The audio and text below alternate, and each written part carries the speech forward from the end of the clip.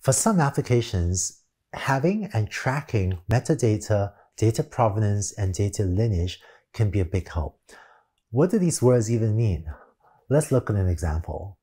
Here's a more complex example of a data pipeline building on our previous example of using user records to predict if someone is looking for a job at a given moment in time. Let's say you start off with a spam dataset. This may include a list of known spam accounts as well as features such as a list of blacklisted IP addresses that spammers are known to use. You might also implement a learning algorithm, so a piece of machine learning code, and train your learning algorithm on the spam dataset, thus giving you an anti-spam model. So these arrows indicate flow of information or flow of computation, where training your ML code on the spam dataset gives you your anti-spam model. You then take your user data and apply the anti-spam model to it to get the de-spammed user data.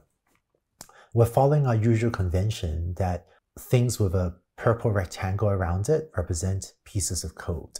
Now, taking your de-spammed user data, next you might want to carry out user ID merge. To do that, you might start off with some ID merge data. So this would be label data telling you some pairs of accounts that actually correspond to the same person, have a machine learning algorithm implementation, train the model on that, and this gives you a learned ID merge model that tells you when to combine two accounts into a single user ID.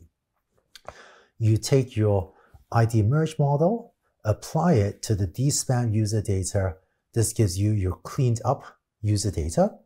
Then finally, based on the clean user data, hopefully some of this labels with whether someone's looking for a job, you would then have another machine learning model trained on it to give you a model to predict if a given user is looking for a job or not.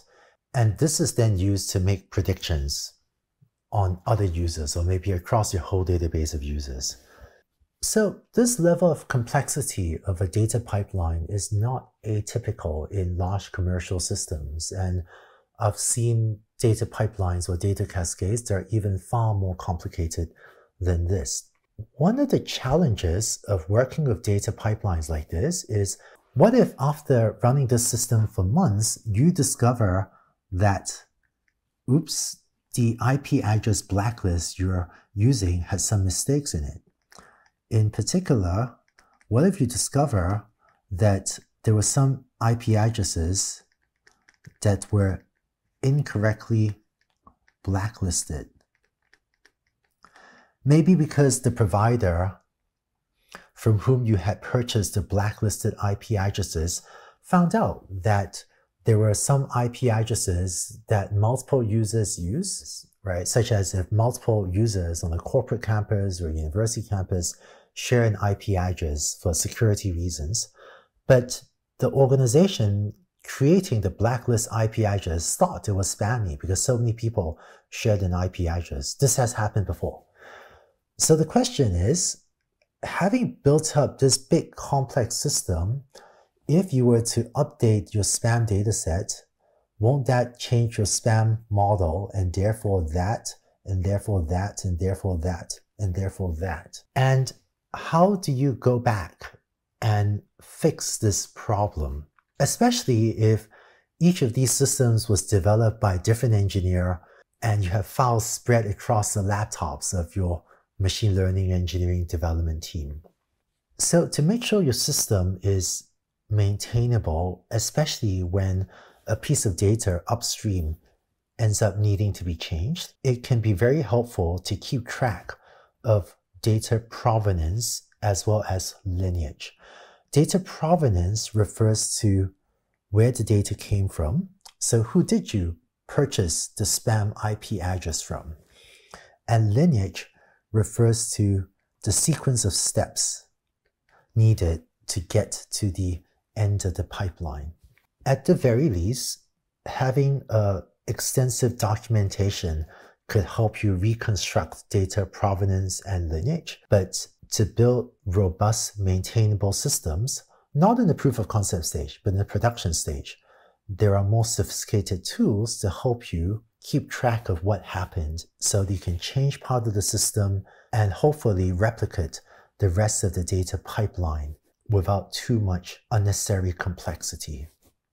To be honest, the tools for keeping track of data provenance and lineage are still immature in today's machine learning world. I find that extensive documentation can help, and some formal tools like TensorFlow Transform can also help. But solving this type of problem is still not something that we are great at as a community yet.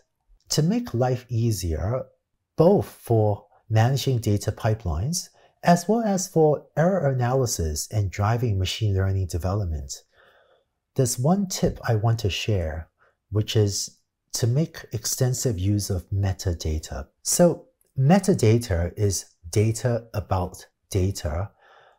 For example, in manufacturing visual inspection, the data would be the pictures of phones and the labels. But if you have metadata that tells you at what time was this picture of a phone taken, what factory was this picture from, what's the line number, what were the camera settings, such as camera exposure time and camera aperture, what's the number of the phone you're inspecting, what is the ID of the inspector that provided this label. These are examples of data about your dataset X and Y. And this type of metadata can turn out to be really useful because if you discover during machine learning development that for some strange reason, line number 17 in factory 2 generates images that produce a lot more errors for some reason, then this allows you to go back to see what was funny about line 17 in factory 2. But if you had not stored the factory and line number metadata in the first place, then it would have been really difficult to discover this during error analysis. So I found many times when I happen to maybe get lucky and store the right metadata, only to discover a month later that that metadata helped generate a key insight that helped the project move forward. So my tip is if you have a framework for storing metadata, that will definitely make life easier. But even if you don't, just like you rarely regret commenting your code, I think you will rarely regret storing metadata that could then turn out to be useful later. And just like if you don't comment your code in a timely way, it's much harder to go back to comment it later. In the same way, if you don't store the metadata in a timely way, it can be much harder to go back to recapture and organize that data. One more example, for speech recognition, if you have audio recorded from different brands of smartphones, let's save that in advance. Or if you have different labelers labeling your speech, or if you use a voice activity detection model, then let's keep track of what was the version number of the voice activity detection model that you use. And all of these means that in case for some reason one version of the VAD voice activity detection system results in much larger errors, this significantly increases the odds of you discovering that and being able to use that to improve your learning algorithm performance. So to summarize, metadata can be very useful for error analysis and spotting unexpected effects or tags or categories of data that have some unusually poor performance or something else to suggest how to improve your system.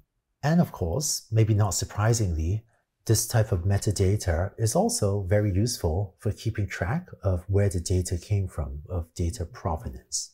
The takeaway from this video is that for large, complex machine learning systems that you might need to maintain, keeping track of data provenance and lineage can make your life much easier. And as part of building out these systems, consider keeping track of metadata, which can help you with tracking data provenance but also error analysis. Before we wrap up this section, there's just one more tip I hope to share with you, which is the importance of balanced train dev test splits. Let's go on to the next video.